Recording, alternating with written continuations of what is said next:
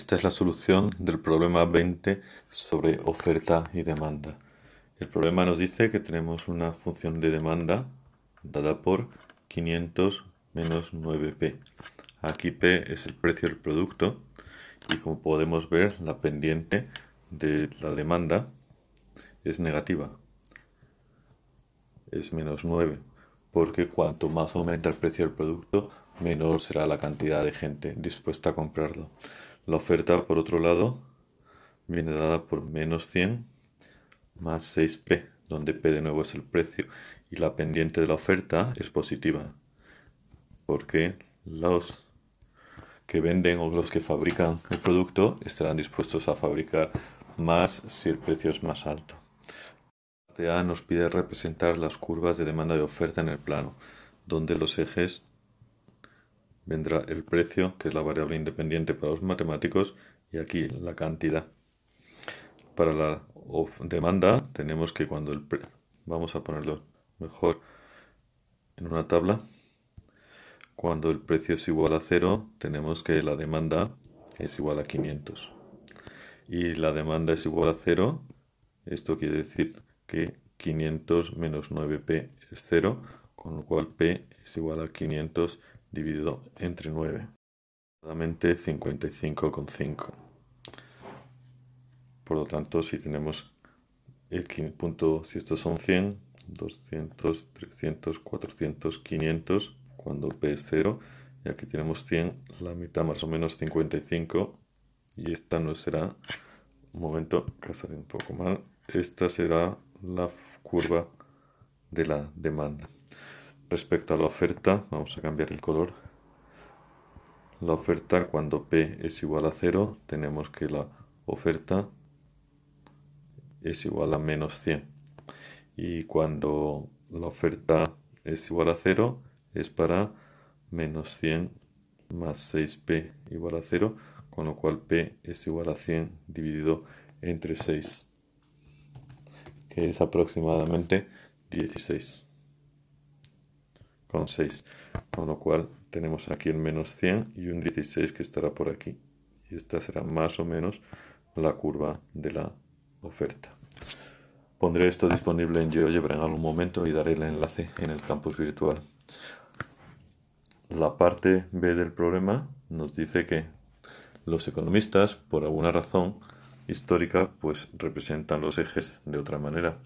Representan siempre bueno, no siempre, pero representan en el eje horizontal representan la cantidad, mientras que en el eje vertical representan el precio. Si queremos hacer esto, lo que tendremos para la, para la demanda es que aquí está el 500 y aquí está el precio 55 más o menos. Esta será la demanda y la oferta, que la vamos a poner en verde como antes, pues irá de menos 100, perdón, cuando eh, irá menos 100 cuando el precio es 0, que estará por aquí más o menos, y subirá así.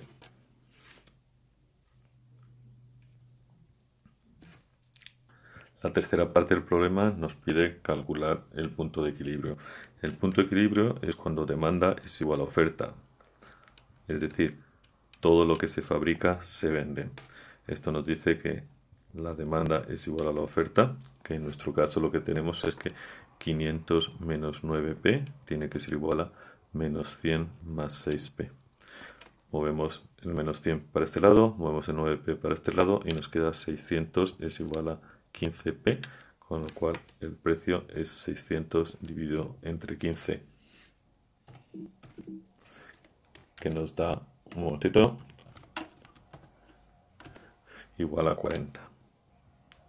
Y la cantidad se puede calcular o en la demanda o en la oferta, puesto que hemos hecho que la demanda es igual a la oferta en esta ecuación, con lo cual da lo mismo donde lo calculamos. Por ejemplo, en la demanda, la cantidad será 500 menos 9 por 40, que son 500 menos 360, que es 140.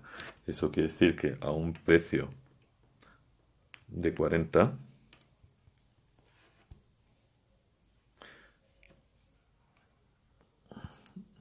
a un precio de 40 unidades monetarias, se venden 140 unidades del producto.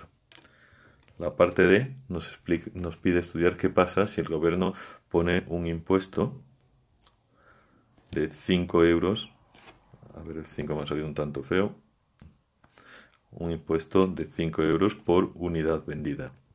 Como se explica en el problema, hay dos maneras de considerar. Por un lado, tenemos que considerar el comprador, el cliente.